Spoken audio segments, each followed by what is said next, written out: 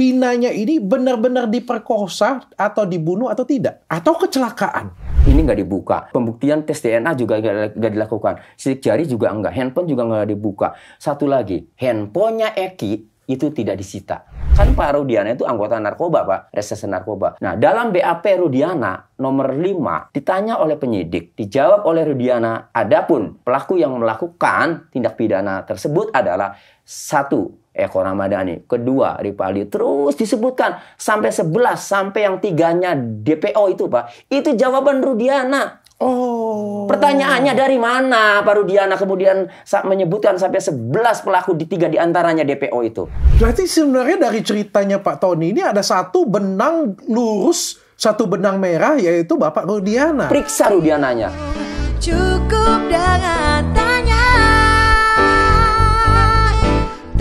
dokter Richard Pak Tony RM. Wah, Anda Ya. panutan saya sekarang. Waduh, terima kasih dok. Luar biasa loh, sampai aduh aku bilang aku kagum banget dengan orang ini, berani banget luar biasa. ya karena menyuarakan kebenaran dok. Tapi aku pengen tanya dulu, eh ini RM-nya apa ini ya? Richard Mel. Boleh? Biar biar ikut ke bawah kaya.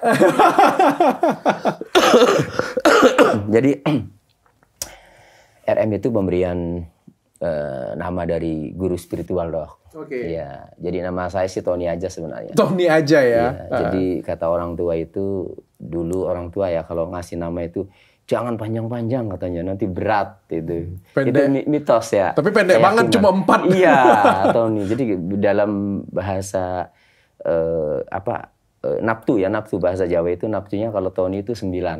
Hmm. Ya eh, to itu tujuh kan.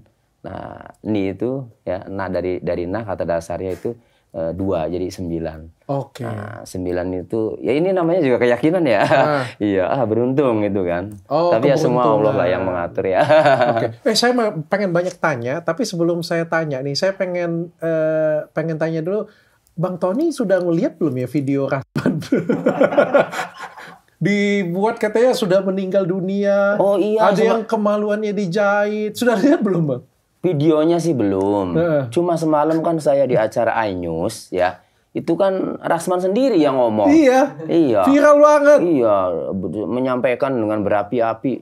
Masa kan saya kemaluannya dijahit kan gitu. Muka saya di ini kan di edit ini. Saya saya justru baru tahu dari Pak Asman yang semalam. Iya, karena saya kan sibuk ya dok ya. iya, Jadi saya saya, nggak mengamati. Tapi kok Pak Asman sendiri ngomong. Gitu. saya saya mau nahan ketawa dok sebenarnya semalam tuh. Mungkin ada tuh ya pas eh, ke shoot saya saya nahan ketawa. Ya cuma yang nggak enak dok ya. Tanggapannya bang, tanggapannya bang. Ya itu itu kan gini. eh, netizen publik itu reaksi netizen ya reaksi publik ada reaksi spontan.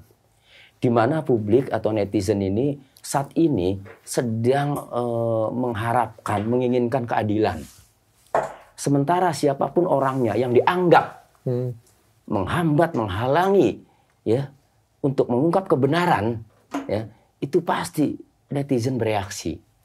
Lo dari mana? Apakah para Rasman itu dianggap menghalangi kebenaran misalnya.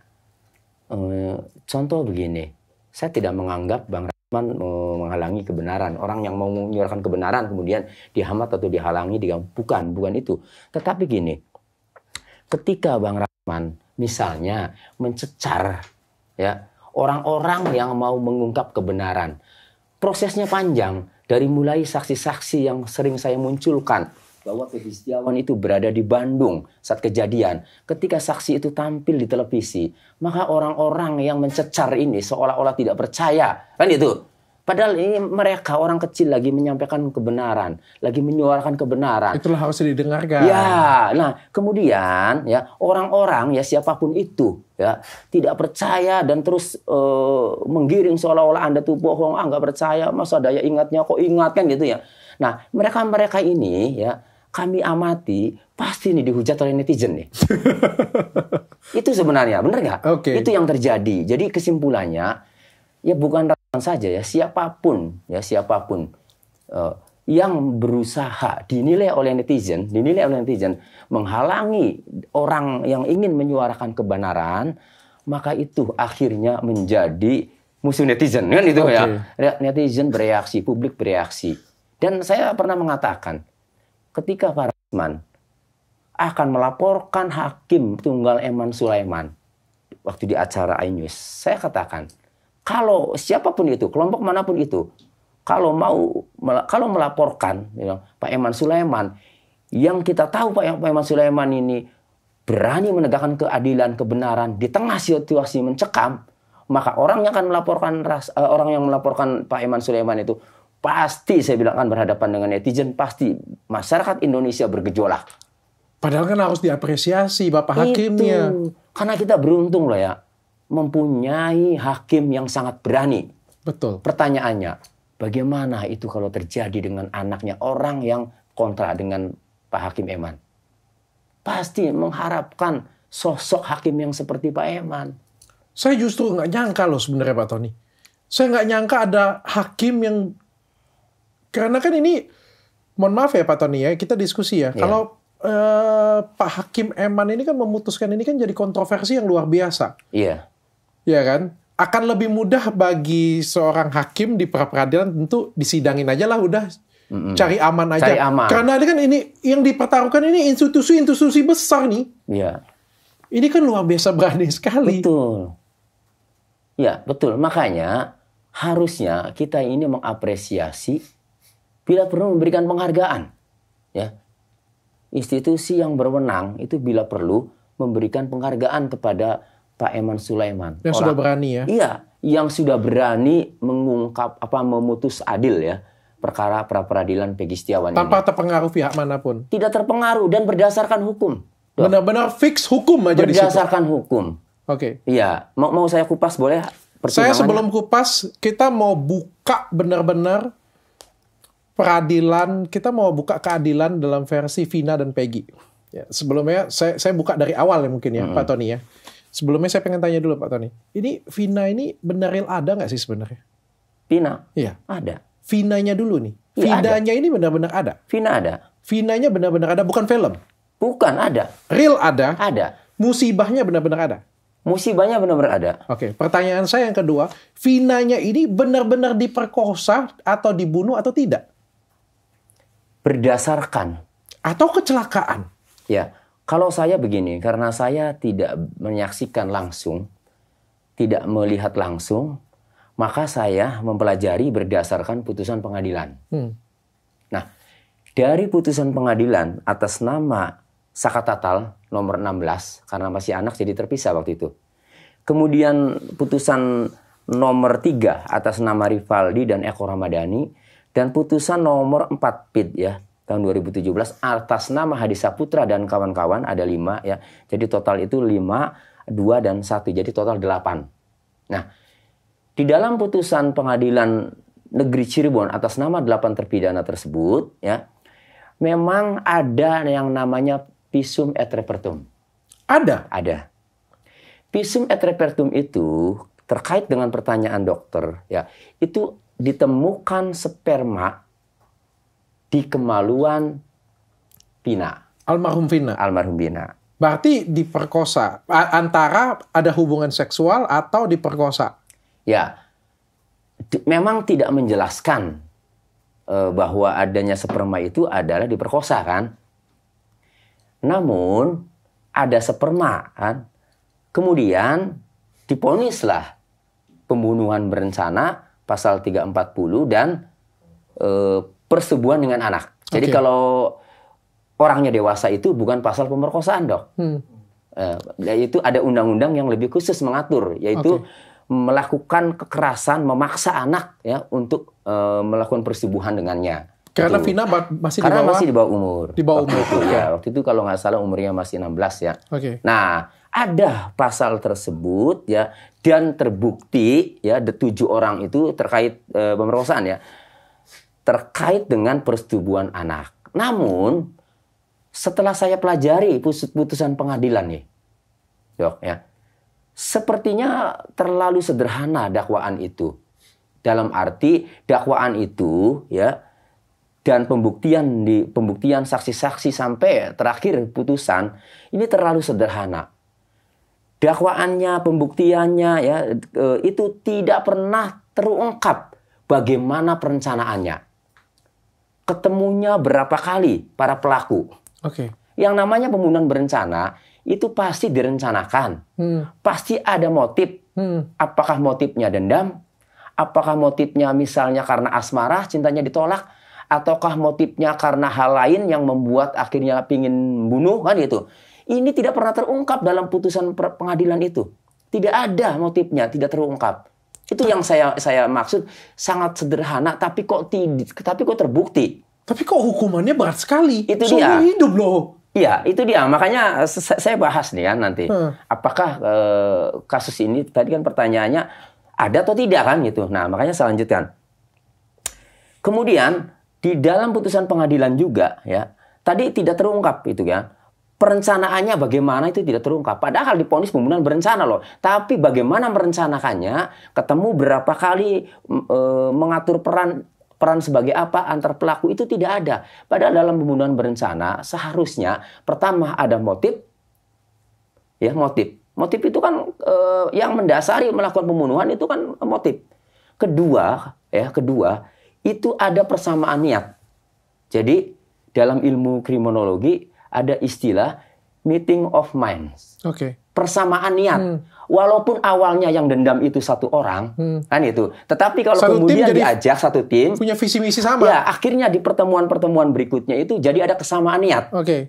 kemudian direncanakanlah. Tidak pernah terungkap dong dalam putusan pengadilan atas nama delapan terpidana itu. kalau nggak salah tujuh orang itu tersebut tidak mengakui kan kalau aku nggak salah kan sampai akhir di persidangan juga tidak mengakui kan Dia tidak mengakui. Dia itu eh, ada yang mengaku, ada mengakui pasrah karena mengaku kan eh, pasrah karena sudah tidak tahan kan Heeh. dengan penganiayaan. Oke lah, itu nanti cerita setelah putusan kalau yang itu. Sekarang putusan dulu. Nah, kemudian di dal- dalam putusan pengadilan juga ada kesaksian anak buahnya Rudiana. Hmm.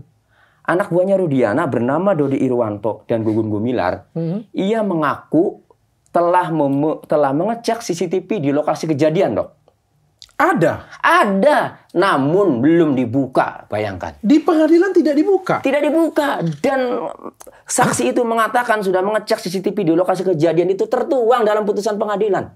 lah Pak Tony ini kan kasus sederhana sekali sebenarnya ya Betul. ini kan bukan bukan sorry ya bukan mafia ya ibaratnya ada perempuan dan laki-laki eh, diperkosa, dibunuh, terus ditinggalkan di jalan.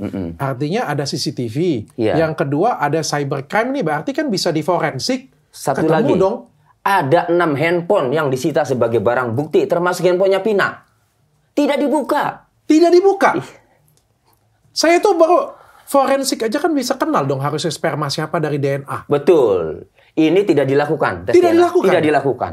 Sidik jari tidak dilakukan. Tidak dilakukan. Bayangkan, dalam amar putusan atas nama delapan terpidana itu menetapkan barang bukti berupa ya di antaranya kayu balok, helm dan seterusnya yang mungkin bisa dipegang oleh para pelaku ya, tetapi tidak pernah dilakukan sidik jari. Kemudian ditemukan sperma di tubuh Pina almarhum tidak pernah dilakukan tes DNA.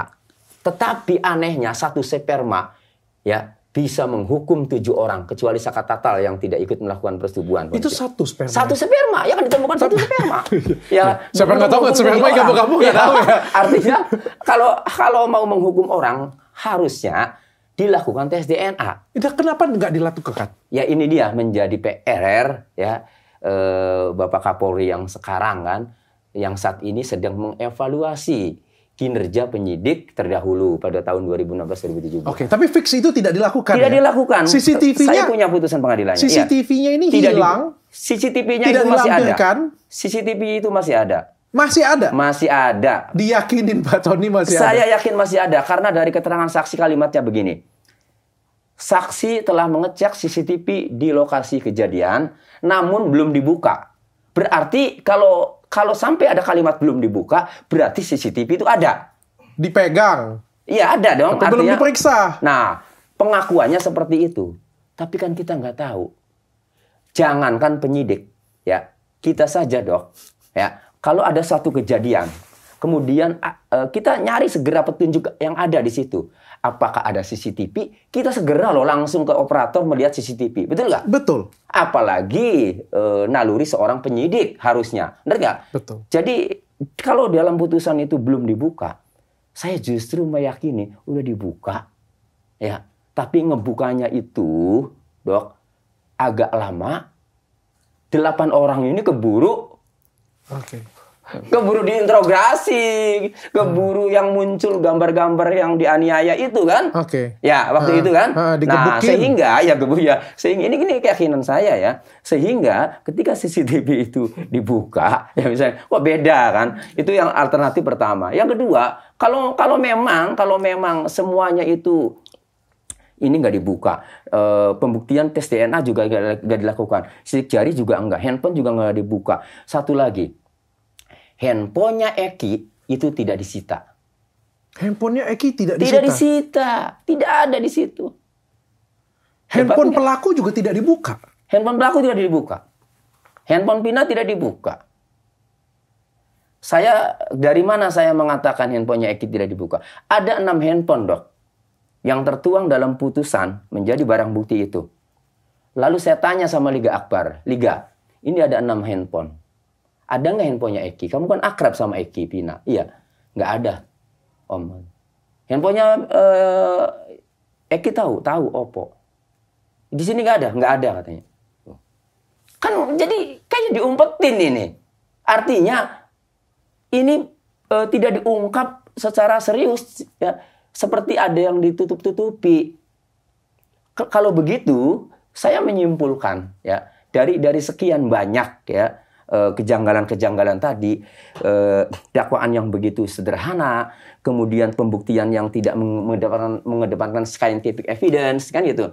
Nah, kemudian handphone yang belum dibuka, tadi CCTV yang belum dibuka, ada keterangan Liga Akbar yang kemudian merasa waktu itu kesaksiannya diarahkan oleh Pak Rudiana. Akhirnya saya menyimpulkan dua hal. Apa Pak? Pertama, saya menyimpulkan jangan-jangan Pak Rudiana ini tahu semuanya. Bapaknya Eki ini. Oke. Iya, Tapi jangan-jangan. kan anaknya juga korban Pak. Ya itu dia. Kenapa kalau anaknya korban, ya, kenapa CCTV itu ya tidak dibuka? Kenapa handphonenya anaknya itu tidak dijadikan barang bukti? Betul juga ya. Iya, lalu kenapa saya harus Rudiana? Karena yang mengamankan delapan pelaku itu adalah Rudiana, Pak. Berdasarkan informasi dari AEP. Kan awal kejadiannya itu Pak Rudi- Pak Rudiana itu berada di rumah. Hah. Ini berdasarkan putusan pengadilan ya, Pak. Iya. Ada di rumah, lalu dapat kabar lah dari eh, rekan anggotanya bahwa anaknya itu berada di RSUD Gunung Jati. Lalu Pak Rudiana datanglah ke RSUD Gunung Jati. Begitu dilihat, benarlah anaknya. Begitu dilihat, ini kecelakaan. Janggal karena banyak luka di organ tubuhnya. Lalu dia cek TKP, lalu kemudian ke Polsek Talun ngecek motor. Semakin janggal, katanya motornya tidak banyak yang rusak. Nah, akhirnya itu tanggal 27 Agustus Pak ya, malam.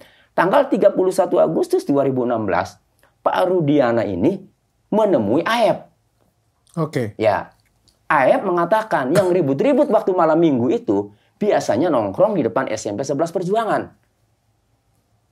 Lalu si Rudiana ngomong, ya sudah, kalau nongkrong lagi kabari saya. Itu jam 10 pagi. Nah, kemudian Aep, Rudiana pulang. Kemudian Aep jam 12 siang ngabari Rudiana. Oke. Bahwa orang yang ribut-ribut waktu malam minggu itu sudah ada pada nongkrong.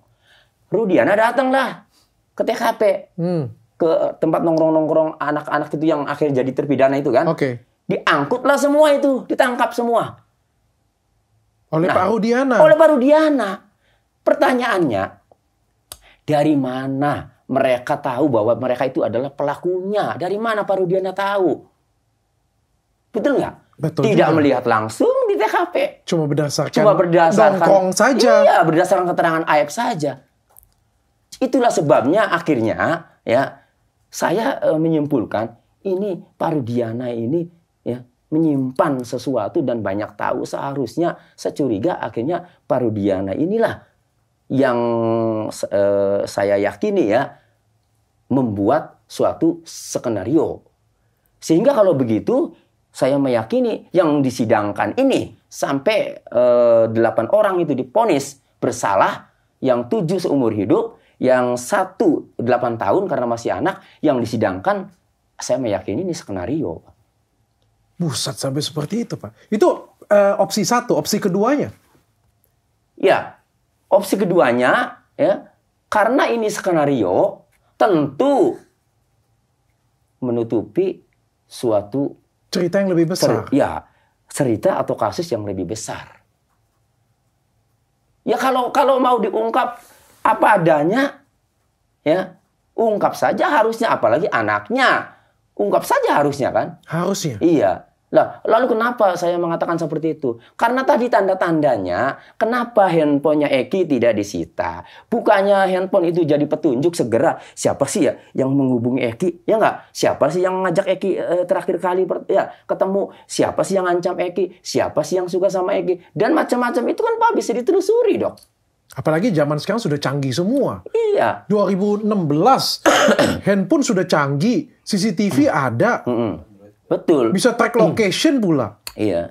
Nah, jadi kesimpulannya, kesimpulannya ke pertanyaan awal tadi, apakah ada pemerkosaan? Dari putusan pengadilan tadi, Pak, saya hanya mempercayai adanya fakta visum. Udah itu aja. Lain-lainnya kronologis dalam dakwaan, keterangan saksi-saksi dan seterusnya, ya. Saya tidak yakin Tidak bisa diambil. Iya. Cuma peristiwa ini ada karena adanya visum. Oke. Kan Tapi itu. visum dilakukan ya? Visum, Fix, visum, fix dilakukan. visum dilakukan Eh, otopsi ya. Otopsi Iya, dilakukan. dilakukan. Jadi otopsi dilakukan pada tanggal 13 September 2016. Kejadian itu, Dok, 27 Agustus ya, 2016. Oke, visumnya? Nah, visum eh, visumnya ya, otopsi dilakukan 13 September 2016. Satu bulan, hampir satu bulan kemudian. Dua minggu, dua, Dua minggu mingguan. lah. Dua Ya. mingguan kemudian. Iya, dua minggu. Oke. Nah, jadi eh, hasil visum itu kan eh, fakta ya, itu eh, alat bukti. Saya masih meyakini karena adanya visum, ya. Sepanjang tidak ada yang bisa membuktikan sebaliknya, hasil visum itu benar eh, eh, benar atau tidak kan itu. Sepanjang tidak ada yang membuktikan sebaliknya, maka saya masih menganggap eh, hasil visum itu adalah eh, benar ya. Dan fakta visum lah yang saya yakini bahwa peristiwa itu ada. Oke. Hanya saja pelakunya siapa? Nah, itu. Kan itu. Itu. Nah, Nah, ini yang ajaib itu satu. Ke pada waktu fakta persidangan 8 tahun yang lalu itu ditentukan sudah masuk penjara nih, sudah nih, sudah dia dapat hukuman nih. Katanya ada 3 DPO. ya. DPO itu ya, lagi-lagi yang memunculkan adalah Rudiana. Saya mempunyai BAP-nya Rudiana, Pak, tahun 2016. Saya lanjutkan. Setelah Rudiana mengamankan 8 orang itu, 7 orang sebenarnya yang diamankan. Karena yang satu orang itu, Ripaldi itu sudah berada di dalam kasus lain.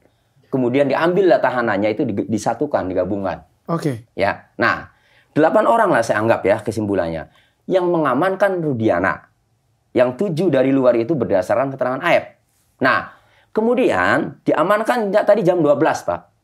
Ada waktu 6, 6 jam setengah Pak Rudiana mengintrogasi delapan orang itu. Oke. Kemudian baru dilaporkan secara resmi ke, ke reserse kriminal ke re- kan Pak Rudiana itu anggota narkoba Pak reserse narkoba baru dilaporkan ke reskrim reserse kriminal umum itu hari itu juga jam 18.30 Pak setengah Oke. tujuh Hmm. Nah, dalam BAP Rudiana nomor 5 ya, ditanya oleh penyidik. Tahukah saudara identitas para pelaku yang melakukan pembunuhan berencana dan persetubuhan anak? Dijawab oleh Rudiana, adapun pelaku yang melakukan tindak pidana tersebut adalah satu Eko Ramadhani, kedua Ripaldi, terus disebutkan sampai 11 sampai yang tiganya DPO itu Pak. Itu jawaban Rudiana. Oh. Pertanyaannya dari mana Pak Rudiana kemudian menyebutkan sampai 11 pelaku di tiga di antaranya DPO itu. Termasuk Peggy alias Perum itu Rudiana. Itu tiga asal itu dari, Dari Rudiana. Bukan eh, hasil dari persidangan. Bukan dari Rudiana. Itu baru-baru BAP, Pak. BAP kemudian kan di di BAP itu di, dikirim ke jaksa Hah? berkas itu kan, Hah? kemudian disidangkan kan, Pak. Tapi Jadi- muncul nih benar tiga nih. Muncul. Nah, di dalam putusan pengadilan, Hah? kemudian tiga DPO itu muncul kan, dan akhirnya dalam putusan juga tiga orang itu DPO, Andi, Dani, dan Peggy alias Perong. Oke. Nah, lalu dalam DPO itu, waktu Polda Jawa Barat merilis DPO pada tanggal 14 Mei 2024, alamat DPO itu Pak, semuanya di Desa Banjarwangunan. Nah, sementara kalau Peggy Setiawan itu Pak, Peggy Setiawan itu di Desa Kempongpongan, beda kecamatan Pak. Beda desa, beda kecamatan. Jadi kalau DPO yang dirilis oleh Polda ya, itu tiga-tiganya alamatnya di Desa Banjarwangunan, Kecamatan Mundu, Hmm. Kabupaten Cirebon. Sementara Peggy Setiawan klien kami yang ditangkap itu ya, alamatnya itu di Desa Kepongpongan, Kecamatan Talun, Kabupaten Cirebon. Beda kecamatan, desanya apalagi jauh, Pak. Sama nama doang. Ya, sama nama doang. Nama juga sebenarnya Peggy alias Perong dalam DPO itu, Pak. Bukan Peggy Setiawan. Oh. Ciri-ciri juga beda. Dalam DPO, ciri-ciri Peggy alias Perong itu rambutnya keriting. Hmm. Tinggi badannya 160. Umurnya 2, 30 tahun. Agak pendek ya berarti ya. Iya. 30 tahun umurnya. Nah, yang ditangkap ini ya tinggi eh, rambutnya tidak keriting, lurus tadi Iya. rambutnya. Ram- eh, tinggi badannya juga lebih tinggi ini. Iya. Kemudian tinggalnya tidak di Banjarwangunan, melainkan di Desa Kepongpongan, jauh sekali. Lalu dari mana tiga DPO itu kemudian alamatnya di Banjarwangunan? Dari Rudiana, Pak. Sejak BAP itu pertama kali itu. Nanti deh saya kasih BAP-nya. Berarti sebenarnya dari ceritanya Pak Tony ini ada satu benang lurus, satu benang merah yaitu Bapak Rudiana. Periksa Rudiananya.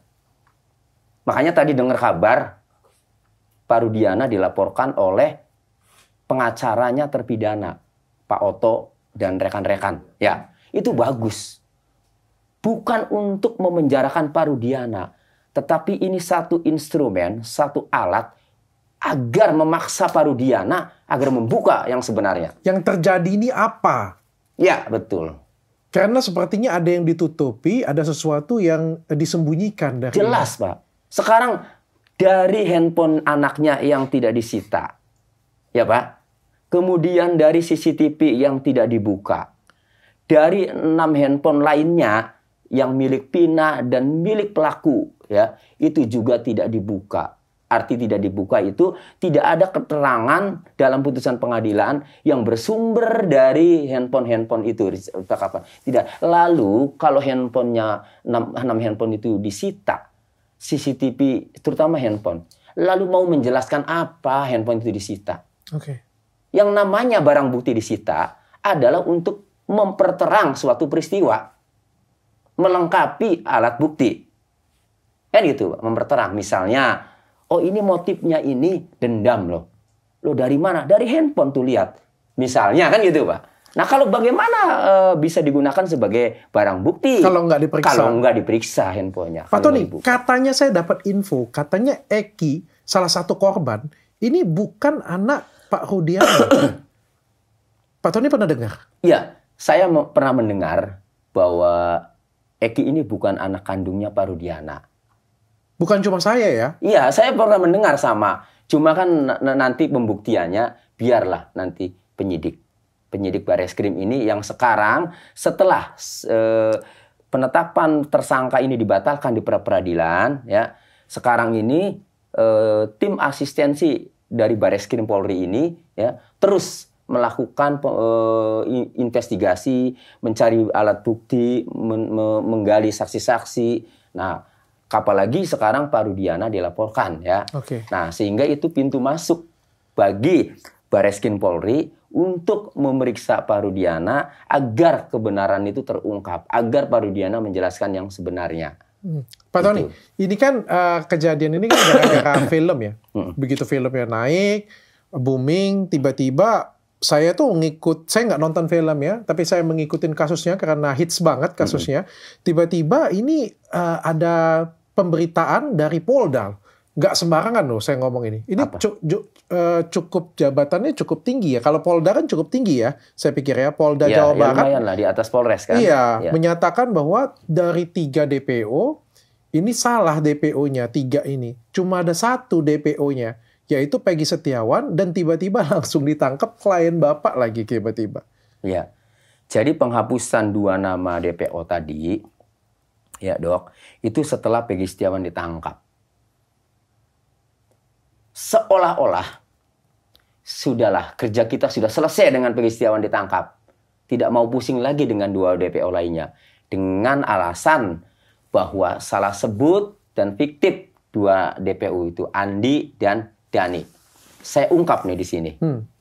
Da, kita percaya dulu lah eh, putusan pengadilan dengan kronologisnya. Meskipun saya hanya meyakini fakta visum saja ya. Oke. Kalau kronologisnya itu kami nggak yakin.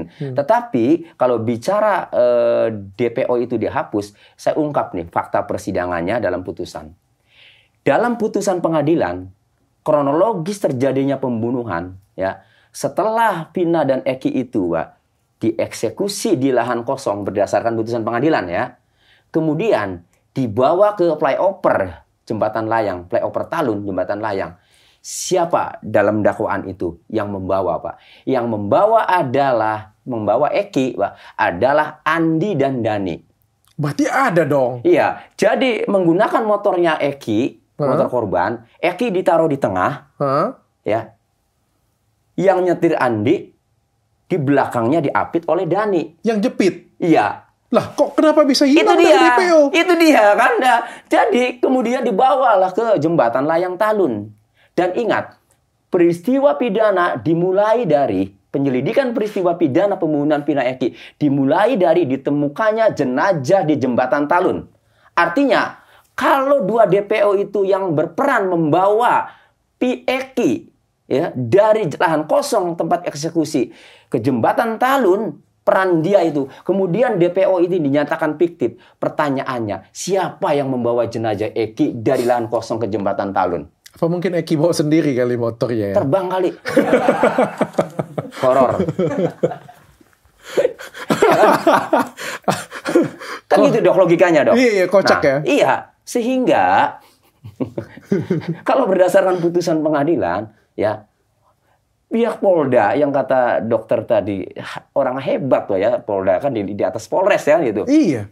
apakah nggak baca dulu? Ya putusan pengadilan sebelum ngomong gitu loh. Ya kan gitu. Jadi kalau tidak ada fiktif eh, dua orang yang membawa jenazah Eki dari lahan kosong ke jembatan Talun flyover itu ya berarti tidak ditemukan dong eh, jenazah di jembatan layang flyover Talun kan gitu. Kalau memang itu fiktif. Lalu berarti tidak ada peristiwa pidana dong karena karena diungkapnya peristiwa pidana pembunuhan Pina Eki ini karena awalnya bermula ditemukannya korban Pina Eki di jembatan layang Ma- Talun. makanya pertanyaan saya pertama itu apakah Vina itu benar-benar ada? ya ada. Ada dan saya eh, sama keluarganya Pina, kakaknya Pina juga saya komunikasi. Ada memang benar kehilangan adiknya Pina. Ada Pina. ada ya? Iya. Ya jangan sampai ini kita Iya, sudah ngobrol nanti- panjang cuma film cuma Hmm. katanya nanti kan. Rupanya memang Ada. ada. Mayatnya juga memang jenazahnya memang ada juga di situ Ada. ya berarti. Iya, ya. ada. Tapi ini secara gaib dihilangkan uh, dua DPO tersebut dan dipilihlah satu uh, Peggy Setiawan Iya. kliennya Iya, klien saya. Pak ya. Tony. Iya. Pak Tony pada waktu itu masih sudah jadi pengacara ya? 2016? Enggak, seka- uh, pada waktu ditentukan waktu konferensi pers gede kayak gitu, Pak Tony sudah jadi pengacara belum? oh, jadi pengacaranya Peggy belum? Belum. Belum. Belum. Belum. Jadi saya itu mulai jadi pengacaranya Peggy, Peggy Setiawan ini setelah Peggy Setiawan ditangkap. Hmm. Dan mungkin saya sampaikan juga pada saat Peggy Setiawan ditangkap pada tanggal 21 Mei 2024 ya. Kemudian tanggal 22 Mei saya ini dihubungi oleh rekan saya bernama Jayani, advokat. Mas Tony, tolong tuh bantu Ibu Yanti. Loh kenapa Ibu Yanti? Iya, yang Peggy Setiawan yang ditangkap itu anaknya pembantunya Bu Yanti, Ibu Oke. Kartini. Hmm. Ibu Kartini kerja sama Bu Yanti. Oh, ah, masa saya bela pembunuh? Saya bilang, Nah itu. iya. Enggak, ah, saya bilang netizen Indonesia ini udah luar biasa. Saya bilang cerdas-cerdas. Iya, saya nggak mau. Saya bilang urusan sama netizen. Iya kan? Artinya netizen itu berharap tuh yang baik-baik kan gitu ya. Nah, walaupun memang tersangka juga berhak untuk dibela, tapi kan kita punya hak juga. Kalau tidak cocok dengan hati nurani kan kita bisa. Apalagi kan yang ini nentukan kan Polda ya. Iya. Kita juga juga mikir Kita kan oh, Polda pertama kali kan. udah nentukan nih. Tentu Iya. aja kita percaya dong. Iya, betul. Selevel Polda. Betul, level Kalau Polda. selevel mungkin kita Ya. Tapi dia meyakinkan saya. Enggak mas, ini bukan pelaku Peggy. Pada saat kejadian, Peggy ini berada di Bandung. Ah yang benar saya bilang. Benar. Menarik juga. Tapi gini, saya kasih waktu saya untuk melakukan penyelidikan sendiri, saya bilang. Kalau begitu, saya bilang, coba minta nomor Ibu Yanti. Dikasihlah nomor Ibu Yanti. Saya telepon Bu Yanti. Bu, Tony, eh, rekannya Jayani. Oh iya mas, Ibu dari Polda. Iya. Bener itu ditangkap. Bener. Itu bener bu. Bukan pelakunya. Bukan. Peggy di Bandung kerja. Kuli bangunan. Yakin bu? Yakin saya. Ada saksinya? Ada. Saksinya masih ada? Ada. Bisa saya temui saksinya. Ya sudah Mas Tony kemari aja. Nah, saya ke sana ke rumah Ibu Yanti. Saya ke saya pertama kali, Mbak, datang ke rumah Ibu Yanti ada Ibu Kartini, kemudian satu lagi Adnan kuasanya ya. Jadi yang pertama itu Ibu Yanti sama Adnan tuh kuasanya cuma dua tuh. Nah, saya datang ini, Pak, tidak sebagai pengacara, tapi saya datang sebagai orang yang ingin mewawancarai aja, Pak. Hmm, Saya bener live-kan, nggak? Pak. Iya, bener nggak? Saya live-kan, Pak, di channel saya pengacara Tony. Oh, oh, Iya, oke. ada sampai sekarang Heeh. saya bu eh, coba ceritakan lalu singkat cerita eh, benar lah bahwa Peggy Setiawan itu berada di Bandung berangkat sejak Juli Oke. lalu siapa saksi yang di Bandung kerja di sana muncul lah pak nama Bondol nama Ibnu nama Robi nama Suparman. Di sana kerjanya di rumahnya Pak Agus. Kan gitu pak? Oh. Bapaknya namanya Pak Rudi Irawan. Memang yang dapat proyek dia kan? Dan Pak Tony tanya juga dengan semua orang- saya tanya. Lah, kalau mohon maaf Pak ya, yang di sebelah sana kan sekolahnya mencari penyelidikan nih Pak. Iya. Masa kalah dengan Pak Tony? Ya nggak tahu ya mungkin barangkali Masa dia nggak periksa dulu kayak gitu punya Pak? ya Masa- harusnya selektif ya. Ya seorang eh, pengacara yang ya ibaratnya cuma pengacara aja lah kayak gitu Ya, punya. artinya kan saya eh, tidak bukan ditugaskan oleh negara yang dibayar oleh negara untuk melakukan penyelidikan, Pak ya. Dan Tapi itu tidak saya- punya level kesulitan kan artinya kan? tidak, Pak. Gampang itu. Sampai buka ngehack data negara dulu atau apa Pak Tony Enggak. ada kan? Nggak ada level kesulitan Enggak. menemuin mereka artinya kan? Tergantung niat, Pak. Kalau niatnya untuk mencari kebenaran, mudah sebenarnya. Kan itu. Apa yang membuat sulit ini? Kasus pembunuhan ini simpel, Pak, sederhana. Yang ini terlihat sulit, ya karena tidak niat dan melihatnya, saya melihatnya ada yang ditutup-tutupi, Pak. Yang Pak Tony yakinin apa ini yang ditutupin? Banyak orang yang bilang ini ada orang besar di balik ini. Sebentar, saya lanjutkan dulu biar clear tadi ya.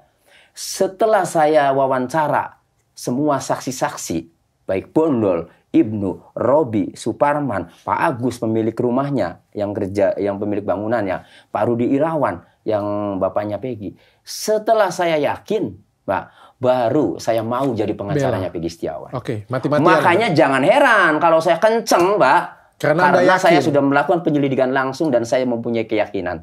Oke. Alhamdulillah kan benar bebaskan. Tapi Anda luar biasa loh. Aku harus puji dulu Anda luar biasa loh. Terima kasih. Nggak banyak pengacara seperti Bapak pasti. Walaupun tahu dan yakin bahwa dalam diri bahwa eh, klien Bapak itu tidak bersalah. Karena yang Anda lawan ini kan Kekuatan besar. bukan klien lain loh. Yang Anda lawan ini kan institusi, Pak. Betul. Ya oknum sih Pak. jadi jadi oke lah ya tidak lepas dari institusi. Oknumnya berada di institusi kan gitu. Ya tapi saya eh, bermaksud saya justru cinta Polri ya. Saya cinta Polri. Dok, kalau saya tidak ada polisi, mungkin rumah saya kemalingan terus. Benar, Pak. Kan gitu. Sama. Ya, dok, di sini juga mungkin kalau nggak ada yang jaga teman-teman aparat, maka maling akan mudah sekali, akan berani sekali, akan mengincar. Jadi karena eh, kami ini cinta Polri, maka obrolan-obrolan seperti ini kan eh, baiklah untuk memperbaiki ya Betul. kinerja oknum-oknum penyidik ya, untuk memberantas oknum-oknum penyidik, memperbaiki kinerja- penyidik Polri. Nah, jadi saya itu niatnya adalah bagaimana menegakkan kebenaran. Persoalan ya saya dinilai menyerang eh, institusi tidak ada maksud itu. Itu mungkin bagi orang yang tidak suka untuk untuk kebenaran ini terungkap. Tapi kalau orang yang suka kebenaran ini terungkap, dok, saya banyak teman-teman di Mabes, dok. Pada mengapresiasi dan saya pernah ya setelah kasus ini kelar, saya lagi menghadiri acara di TV saya sempatkan karena eh, teman ya di sana ya lumayan juga pangkatnya. Saya diundang ke sana kan, diundang hanya main. Itu saya mau masuk ke bareskrim. Itu anggota-anggota polisi yang pada pulang dok, pada ngucapin selamat sama saya dok. Oke, artinya mereka mengapresiasi ya. Iya, karena hati manusia itu semuanya juga ingin kebenaran yang terungkap dok, bukan kebohongan, bukan kepalsuan. Walaupun ah, banyak di luar sana masyarakat mungkin banyak yang komentar. Saya percayanya cuma polisi tidur atau polisi patung polisi katanya. Iya. Cuma yang menjadi pertanyaan saya adalah kita tidak bisa lepas harapan dengan polisi. Tidak bisa, kita Walaupun memang stigma yang ada di lapangan seperti itu. Pertanyaannya apakah kita di Indonesia ini bisa hidup tanpa polisi? Nggak bisa juga. Nggak bisa dok. Emang ada institusi lain selain polisi? Betul. Polisi kan cuma satu dok, Polri ini. Ya, tidak ada polisi swasta dok. Nggak ada sapam juga. Iya. jadi kita cuma Yang bisa apa- nangkep. Iya. Jadi kalau kita merasakan ada sesuatu yang keliru, ya, eh, da- oknum polisi yang melakukan tindakan keliru, maka kita eh, berhak sebagai masyarakat ya untuk mengingatkan dok, untuk Lebih baik mengkritisi. bersuara. Iya. Kan ada tuh bahasa Bapak Kapolri. Siapa yang mengkritik dengan pedas itu adalah sahabat Kapolri. Ingat gak ada ada Ingat. statement seperti itu Bapak Kapolri? Iya, itu artinya Bapak Kapolri itu luar biasa berjiwa besar menerima masukan-masukan karena itu untuk kepentingan perbaikan institusi Polri dong. Saya pengen tanya kayak gini ya. Ini yang terlintas di pikiran saya. Saya masih ingat saya dari- di- lagi di bathtub. Saya mandi di bathtub. Saya nonton video Peggy Setiawan ditangkap. Iya, Ya. saat itu. Pada waktu itu kan dia ngobrol, dia ngomong ya di di konvensi pers ya. Bukan saya yang bersalah katanya. Saya tidak pernah membunuh katanya. Iya, beranilah ngomong begitu kan ya. Di komentar-komentar kan banyak banget yang komen. Saya lebih percaya Peggy daripada uh, polisi, Polisi. yang nangkep katanya. Kan itu kan cukup ada pro dan kontra ya. Iya, betul. Kalau di saya, saya sampai mandi di bathtub, saya bilang apa? Polisi benar. Tahu nggak kenapa saya bilang ini? Ini kasus viral. Ini Masa kasusnya sih seberani itu ya? Ah, betul. Ah, betul. Ini di kasusnya ini bukan baru mau viral. Ini sebelum Peggy ditangkap sudah viral. Hmm. Sudah viral berhari-hari bermalam-malam. Kalau saya jadi eh, Kapolda, saya pasti akan berhati-hati sekali. Betul. Saya pasti akan berhati-hati sekali. Ini gila ini. Tapi kalau misalnya aku bisa pop, ini prestasi. Betul. Benar ya seperti itu ya. Sehingga menurutku langkah yang diambil juga ini 2024. Masa sih polisi kurang pinter? Ya aku berpikir polisi pasti pinter-pinter lah ya.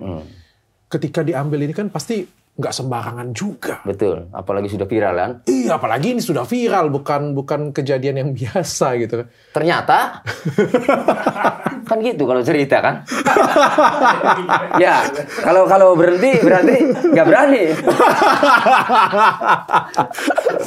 Ternyata plot twistnya gila Oh. loh. Iya. Saya Ternyata Peggy Setiawan berada di sini. Iya, saya, saya, saya pikir tuh kok pengadilan ini di pra peradilan, di pra peradilan yang lebih kocaknya lagi, formilnya bukan kita ngomongin, kita tidak ngomong lagi eh, iya atau tidak materi, kita ngomong formilnya. Baru formilnya saja sudah berantakan ya. Artinya bisa dipatahkan, mudah dipatahkan kan. Ya kan Padahal- saya, saya, saya, saya nggak ngikutin TV One, saya nggak Iya. ngikutin Ainus. Kalian kan berdebat setiap hari di situ ya. Iya. Saya nggak ngikutin. Yang saya ngikutin adalah Peggy Setiawan ditangkap. Iya. Tiba-tiba Anda keluarkan dia menang pra peradilan. Ya Iya. saya kaget dong. Ya itulah. Jadi gini, eh, kalau tadi, kalau tadi dokter eh, dalam pikirannya adalah ini sudah viral loh ya, nggak mungkin eh, Polda ini sembarangan, pasti hati-hati. Ya, sebenarnya kalimat bahwa ini sudah viral dan kita tuh harus hati-hati, sebenarnya itu bagus bener. Hanya saja mungkin ya, ya ini oknum-oknum yang melakukan penyidikan itu lebih percaya kepada skenario hasil penyidikan terdahulu, Dok. Andai saja, andai saja mereka melakukan penyelidikan ulang dari nol. Mengkaji dengan seksama bahwa ini ada CCTV loh yang belum dibuka. Ini ada handphone loh yang belum dibuka. Maka ya berdasarkan ilmu kriminologi yang dimiliki oleh para perwira itu, saya yakin tidak akan mengikuti hasil penyidikan yang sebelumnya yang kami anggap hasil penyidikan sebelumnya ini amburadul dok Oke. oknum-oknum penyidik sebelumnya Hmm. itulah kemudian akhirnya apa yang dianggapan dokter itu akhirnya ya berbeda ternyata amburadul karena tadi dok. Ya karena tadi mengikuti eh, skenario atau eh, apa ya hasil penyidikan ya dari penyidikan tahun 2016 2017 itu jadi ini sebenarnya masih ada harapan dok. Kami tuh masih menaruh harapan besar. Ini akan gaduh terus ya Sampai sampai terbuka. pelaku yang sebenarnya itu tertangkap sampai kejadian yang sebenarnya itu terungkap siapa? Peggy Setiawan itu benar-benar Peggy alias Perong itu benar-benar ada nggak sih?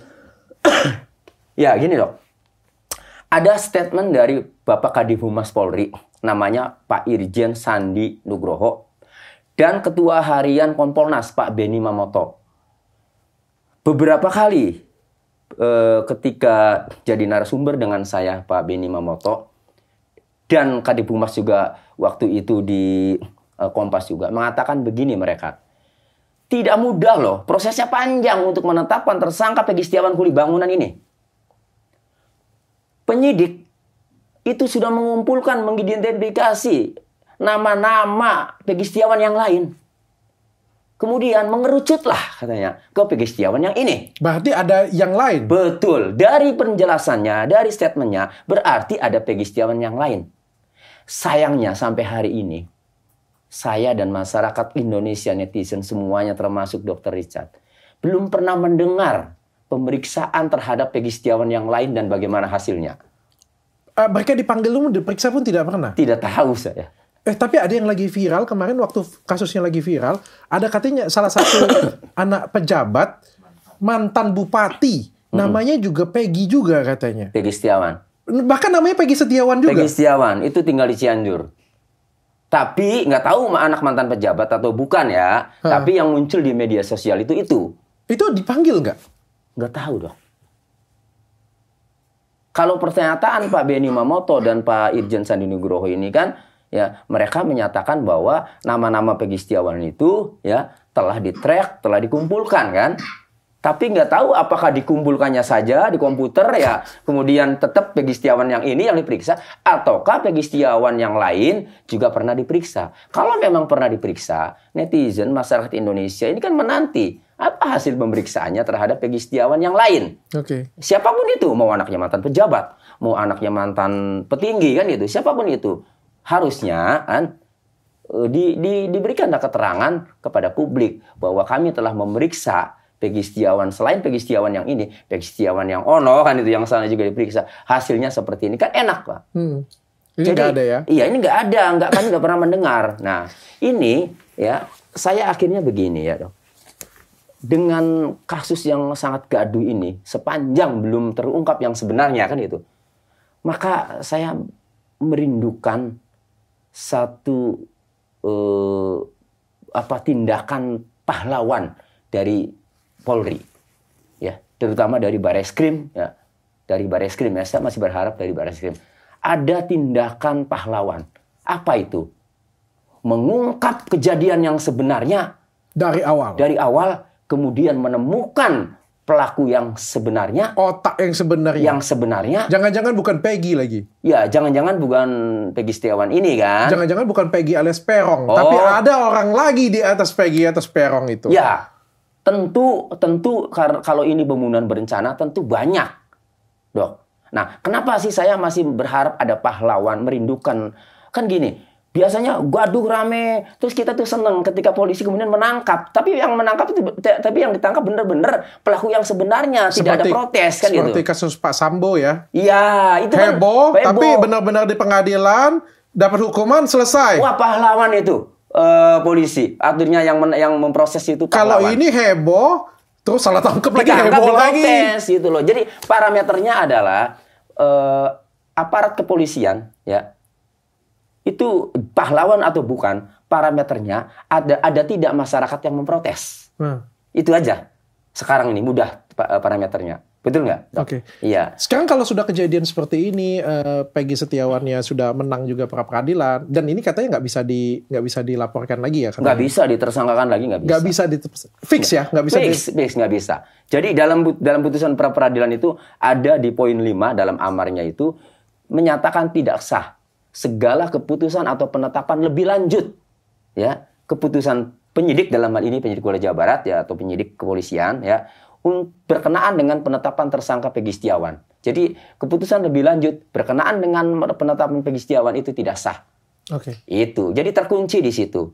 Lalu apakah kemudian kalau ada alat bukti baru bagaimana? Ya bagus.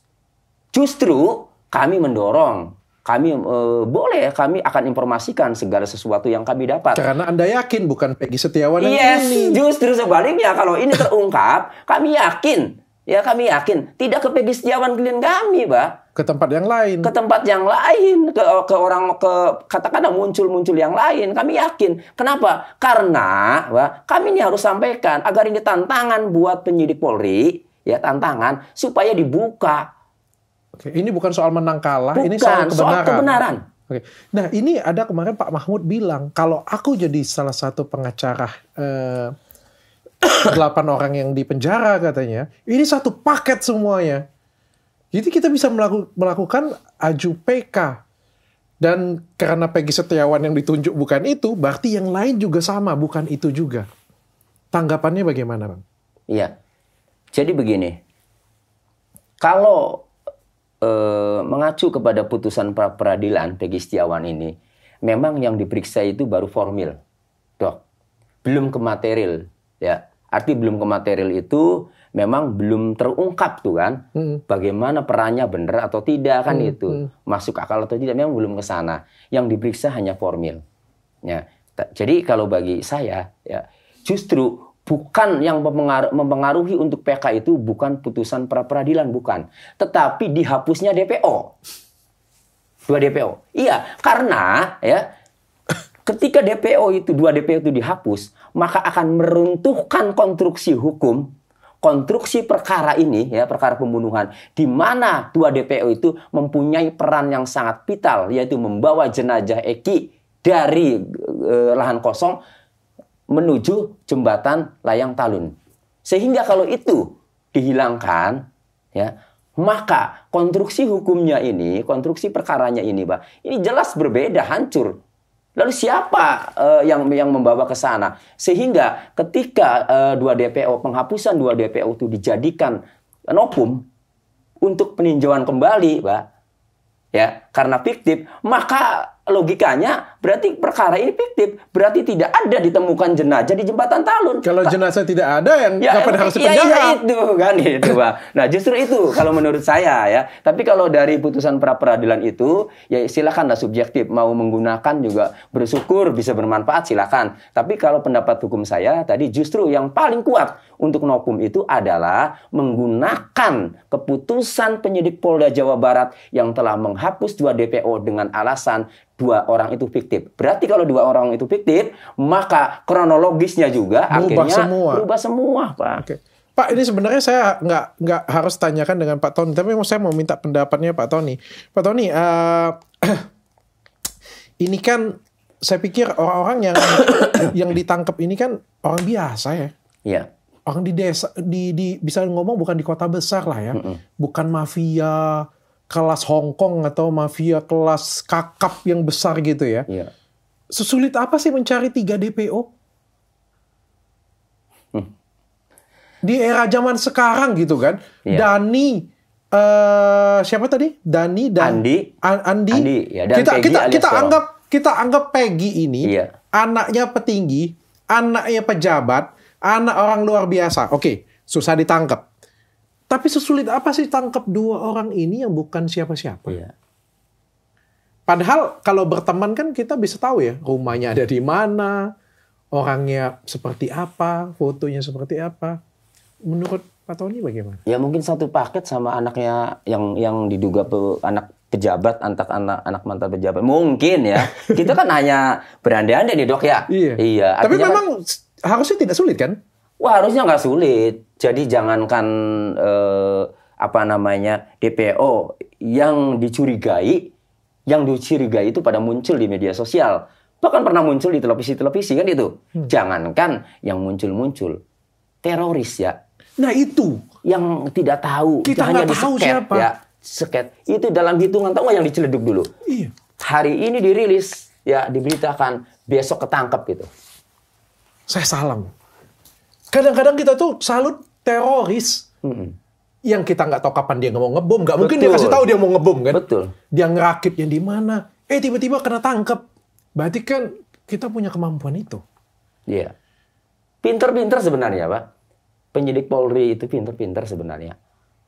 Toh, cuma saya juga bingung di kasus Peggy Setiawan ini, kok banyak kejanggalan-kejanggalan ya eh, di di kasus Pina Eki ini ya. Saya baca putusannya itu kok banyak kejanggalan-kejanggalan, kayak sengaja tidak dibuka, kayak sengaja tidak disita gitu handphonenya Eki ya. Jadi kalau begini berarti bukan karena bodohnya eh, oknum penyidik ya, tapi karena tidak ada niat untuk mengungkap yang sebenarnya. Atau karena memang sengaja untuk menutupi kan. Ya ini kan saya berpendapat boleh saja dok berpendapat ya. Makanya kalau eh, masyarakat ti- eh, tidak banyak eh, berpendapat ya eh, tidak terus berpendapat ya segera lakukan ya penyidikan kasus ini dari nol agar terungkap bagaimana yang sebenarnya ini Oke. Ini Biar- sudah dikurung semuanya. Pengacara Vina, Bang Hotman Paris dan rekan-rekan.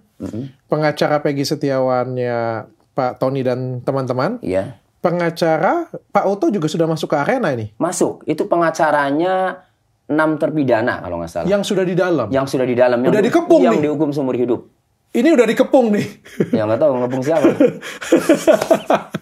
ya artinya untuk mengungkap kebenaran itu semua dari penjuru ini kan sudah pada apa ya sudah pada bergerak lah ya Ya, ya. a- a- Dan saya yang saya lihat dari ketiga pengacara ini juga tidak saling menuduh oh, Anda adalah pengacara pembunuh atau apa. Malah ketiga-tiganya pengen membuka kasus ini. iya Baik Bang Hotman sekalipun yang sebagai korban dia minta malah dia bilang kalau bisa Bang Oto yang pegang ini katanya. iya artinya merekomendasikan kan itu ya? Iya, se- karena dia pengen pengacara berkelas supaya kebuka semuanya dia Iya. bilang. Artinya dia pun mengharapkan bukan mengharapkan orang itu di penjara kalau bisa dihukum mati, betul kalau bisa dibuka semuanya. betul Bagaimana cara bukanya ini?